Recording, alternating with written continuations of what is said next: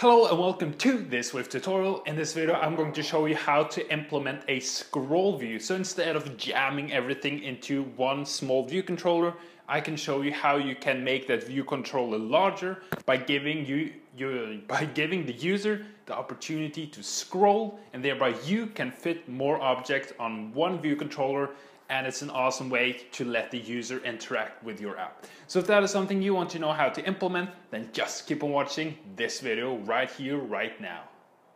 So let's create a new Xcode project. I am going to make a single view application and I'm going to call it scroll view demo.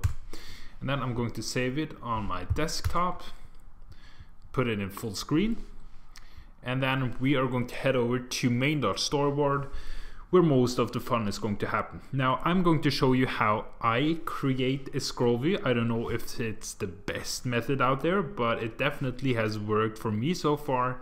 So um, I can say that for me it has worked and I think um, it is a pretty sound way of doing it.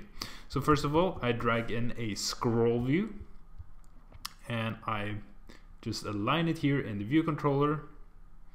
Just leave some room for the status bar and then I set zero points to the borders and I add a constraints and then I add a view. Now you just search for view and then you scroll all the way down and then you will find this one right here.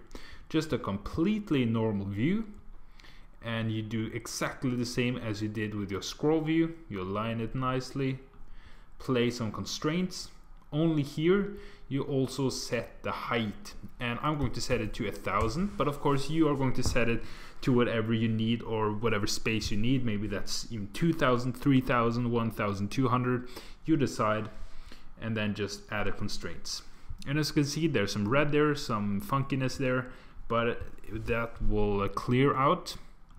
Just click this one and then select your view and then control drag over to your view right there and then click equal widths. Then you select your view controller just like this.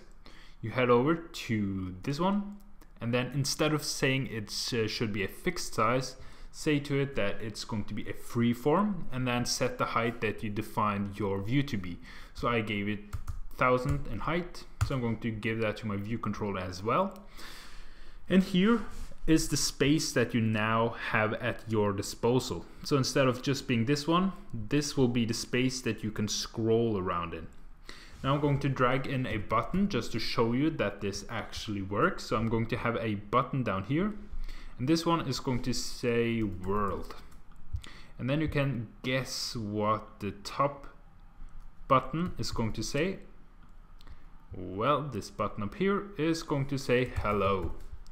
So when I click this button, it should print hello, and well, when I click this one, it should say word. And then I'm going to play some constraints. So I'm going to say that it can keep its width and its height, this distance right there.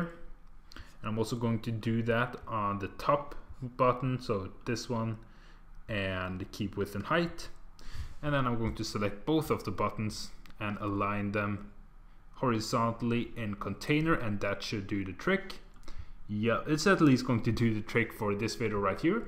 And then we are going to connect them to our view controller file. So just bring that up. And I'm going to drag in the first button. Oh it's the red nasty red not the right constraints you will probably have more luck with yours. I'm just going to say hello. It's going to be an action. Connect. And this one is going to print print hello and then my other button this down here drag it in. And this one is also going to be an action. And it's going to be the world button. And it is going to print see? Print world just like that. So let's launch the app and see what we've got. So this is how our app is looking. As you can see I wasn't too successful with my constraints but let's scroll down and here we go. Here we have both buttons. And I'm just going to press this one, hello, and it should have printed hello, which it has. I'm going to scroll down and I'm going to click on world and it displays world. So this is how you implement the scroll view, a pretty good strategy if you ask me.